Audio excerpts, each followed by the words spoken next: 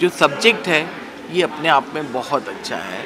ऐसे टॉपिक को और डिस्कस करना चाहिए। तो नंबर्स तो नहीं दे सकती इतना बोल सकती हूँ जाइए और समझिए इस फ़िल्म की सेंसिटिविटी बट कहीं ना कहीं मुझे लगा कि स्क्रीन प्ले और अच्छा हो सकता था। फ़र्स्ट हाफ़ बहुत ही स्लो पेस्ड है।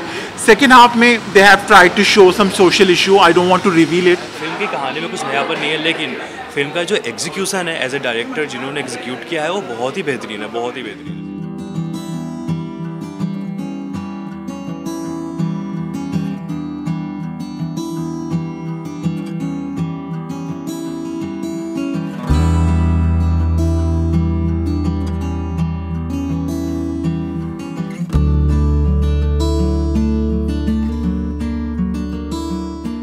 बहुत अलग तरह की डिफरेंट तरह की फ़िल्म है।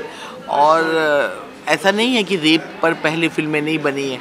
घर जैसी जो गुलजार और रेखा जी ने जिसमें एक्टिंग की है ऐसी बहुत सारी फ़िल्में बनी हैं। लेकिन आ, उसके बाद जो एक औरत पर क्या गुजरती है रेप के बाद उसको बहुत हल्के फुल्के और गंभीर विषय को बहुत हल्के फुल्के और अच्छे ढंग से सुलझाने की कोशिश की है।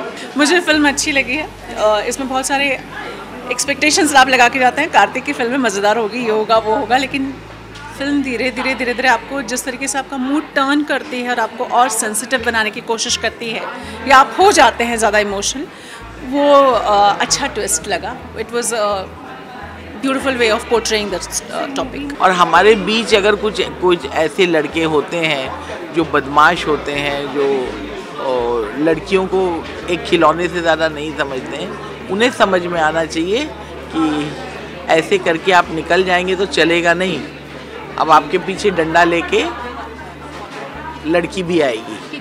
ऑब्वियसली कि दी सोसाइटी में जो अभी रेप होते हैं ठीक है और रेप को लेकर के आ, जो चीज़ें हैं और ख़ासकर आप ये चीज़ें इससे पहले भी ऐसी मूवीज़ बन चुकी है ऑब्वियसली अमिताभ अमिताभ बच्चन साहब की पिंक जो थी आ, मतलब उस मूवी में भी सेम मैसेज देने की कोशिश की गई थी कि no means no but the director has portrait this particular message in this film in a different way बहुत ही अलग वे में प्रेजेंट किया है। फ़िल्म की कहानी में कुछ नयापन नहीं है, लेकिन फ़िल्म का जो एग्जीक्यूशन है एज ए डायरेक्टर जिन्होंने एग्जीक्यूट किया है, वो बहुत ही बेहतरीन है, बहुत ही बेहतरीन है। इस फ़िल्म के लिए जब ऐसे सेंसिटिव टॉपिक होते हैं PTSD post traumatic stress disorder तब इसको बताने वाली महिलाओं को स्पेशली महिलाओं की सिचुएशन को बताने वाली कि एक दुर्घटना या एक ऐसी त्रासदी से जब कोई महिला गुजरती है तो वो कैसे ज़िंदगी को जीना सीखती है?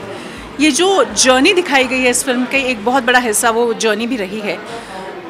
ऐसे टॉपिक को और डिस्कस करना चाहिए तो नंबर्स तो नहीं दे सकती, इतना बोल सकती हूँ, जाइए और समझिए इस फ़िल्म की सेंसिटिविटी को। पिक्चर का मुद्दा अच्छा है, सब है, इसको एक इनोसेंट बॉय का रोल दिया है। आज के ज़माने में इतने इनोसेंट आदमी कहाँ मिलते? मूवी का बहुत बज़ था, बहुत पब्लिसिटी थी सत्य प्रेम की कथा, जिसमें सत्य प्रेम बने हैं कार्तिक आर्यन और कथा बनी है क्यारा अडवाणी जो आज के दोनों यूथ सेंसेशन हैं। मुझे मूवी देख के कहीं ना कहीं मायूसी हुई। It did not live up to my expectations जैसे मैंने एक्सपेक्ट किया था, क्योंकि भूल भलैया बहुत बड़ी ब्लॉकबस्टर थी, उसमें भी यही जोड़ी थी। तो समीर विद्वंस, जो नेशनल अवार्ड विनिंग डायरेक्टर हैं, जिन्होंने मराठी फ़िल्म आनंदी गोपाल के लिए नेशनल अवार्ड जीता था तो हमें बहुत अपेक्षाएँ थी। तो हिंदी फ़िल्म से उनका डेब्यू है बट कहीं ना कहीं मुझे लगा कि स्क्रीन पे और अच्छा हो सकता था। फ़र्स्ट हाफ़ बहुत ही स्लो पेस्ड है। सेकेंड हाफ़ में they have try to show some social issue I don't want to reveal it थोड़ा ट्विस्ट है बट जिस तरह से एग्जीक्यूशन किया गया है the actors are good supporting cast में इतने सीज़न एक्टर्स हैं, जैसे सुप्रिया पाठक जी हैं, गजराज राव जी हैं कॉमेडियन है राजपाल यादव, उनके एक दो सीन ही हैं। तो मूवी सिनेमेटोग्राफी बहुत अच्छा है इनका बोस की। और एडिटिंग uh, भी बिल्कुल शार्प है। सवा दो घंटे की मूवी है चारू रॉय की। बट ओवरऑल जिस तरह एग्जीक्यूट किया गया है वो script Karan Sharma is the writer और अच्छी हो सकती थी।